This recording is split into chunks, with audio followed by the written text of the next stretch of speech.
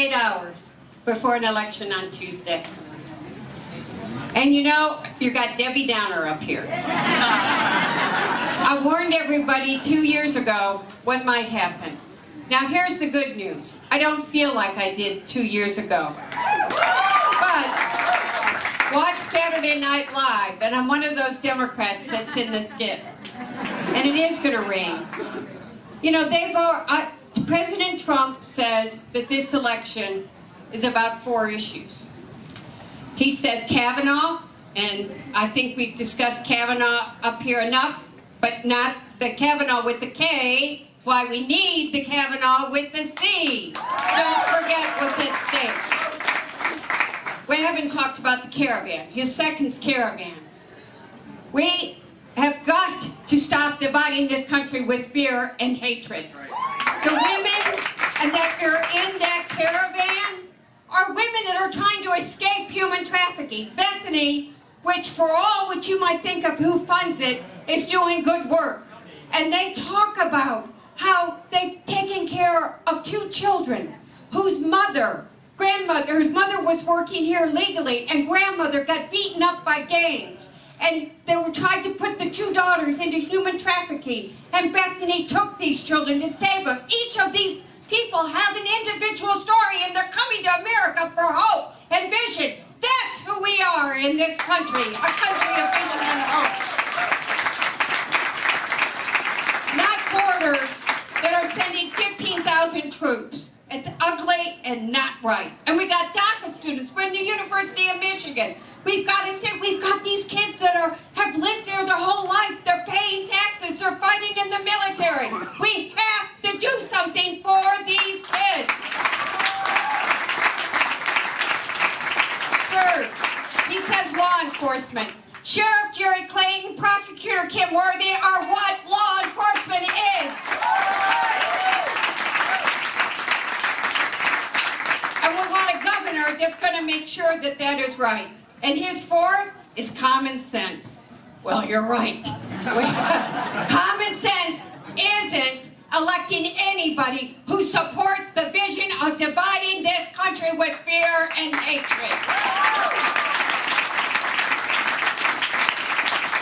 Common sense is electing all of these people up here and putting Gretchen Whitmer and the chief executive office to fight for working men and women again.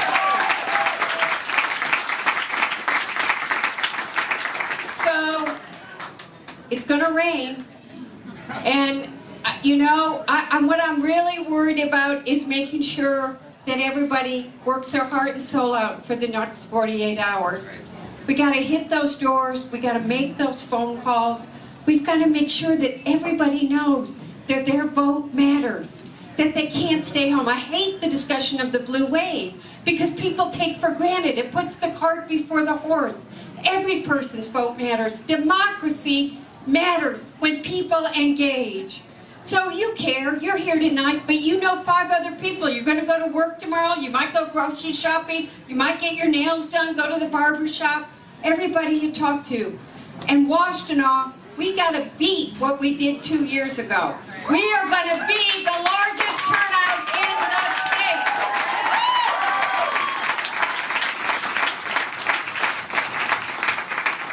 So I'm just here to tell you how proud I am to stand with everybody in this entire ticket and what they mean for the future of this state. So I look forward to celebrating America Tuesday night. Because I look forward, let's remember when people say, what's this election about? United we stand, divided we fall. Let's work for people that are going to unite us. And now, man that has become a very good friend. Someone with vision, energy, passion, cares about everyday working people, spends time talking to the children. Yes, he's got twins that are great, but to seniors that are worried about what's, you know, I, he cares and he believes that every American's got a right to affordable quality health care, which is what Gretchen and he are going to work for. Mutt and Jeff. I'm the Mutt. He's the. But please, please welcome the next Lieutenant Governor of the state of Michigan. It takes a lot of work to be in the choir. You got to go to choir rehearsal twice a week. You have to memorize the songs. You have to sing in unison. What that means is we all have to work together and come together so our voices can be heard, so we can sing a song so loud, so proud, and so beautiful that everybody will feel like they are a part of what we want to do together. And that's exactly what this tour and exactly what these stops and exactly what this election is all about. How can our collective power be felt in every community, from my hometown of Detroit to where I went to college here in Ann Arbor, all the way to the Upper Peninsula and across the state of Michigan, that we will make clear what our values are. And that no person, no hater, no fearmonger, no person who's an enemy of progressive values can stand between us and an inclusive future in the state of Michigan. Everybody's ready to step up for that, right? Well, that just doesn't come by itself. We have to work for it. We have to fight for it. We have to push through any obstacle. And I want to challenge these weather reports that say that how much is going to rain or what's going to happen. I want to challenge that because we're more powerful than any rain. Because we, with our actions, with our footsteps, with our effort, with our phone calls, with our text messages, with our door knocks, we can overpower any storm that tries to keep us down because nothing is more powerful than our progressive values and our big vision for the future. So are you going to step up on Tuesday? Are you going to make sure everybody votes? Are you going to stand tall with Gretchen Whitmer and Garlin Gilchrist?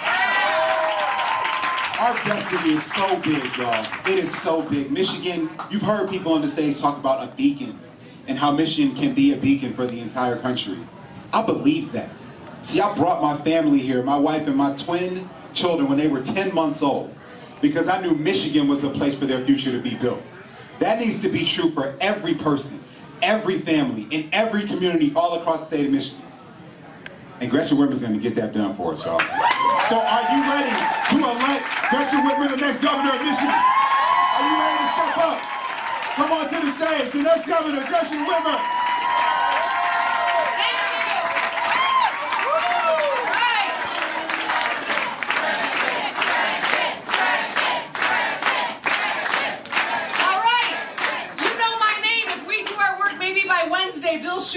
All right, my friends here in Ann Arbor, we are so thrilled to be here with you. We have been traveling the state, seven day bus tour. 77 stops. We are working until the last vote is cast, and I know you are too, because we know what is really on this ballot. It's not just these great people that have put their names forward and done the hard work. Clean water is on this ballot. LGBT civil rights are on this ballot. Health care is on this ballot. Women's autonomy over our bodies is on this ballot. The education of our children is on this ballot. And the damn roads are on this ballot too.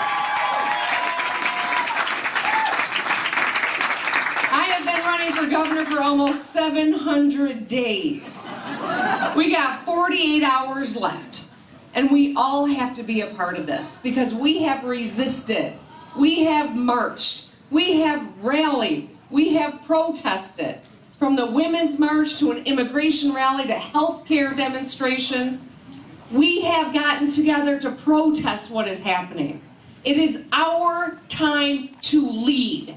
But we don't get that chance if we don't turn out on Tuesday. The last 700 days and all of those rallies don't matter if we don't keep our foot on the gas for this last 48 hours. We must all roll up our sleeves, get out our umbrellas, microwave the dinner, eat a vegetable, take a cat nap, and get back out there until the last vote is counted.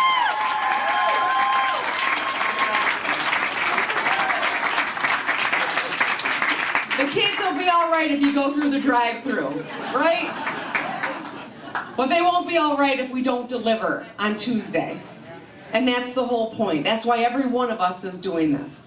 Running for office is not for wussies. These are tough people, bright people, brilliant people, trying to do the right thing. But we need you because elections are won or lost by the work that you do. The doors and the phone calls, the social media posts. That's where elections are won or lost. So if you can sign up for another shift, if you can reach out to Donna and sign up to drive people on Tuesday, if you can do more, I ask that you do.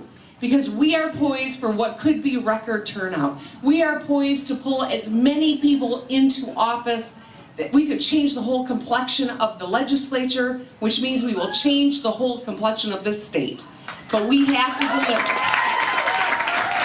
So, after here, I'm okay if you go home and get a good night's sleep. But tomorrow, I need you to roll up your sleeves and jump in. And I want you to know how much I appreciate it. We know we didn't get this far alone. We know we're not going to get over the finish line alone. And here's what I also know. When we win, we're not going to the governor's residence alone. We're all going. Thank you. Let's get it done.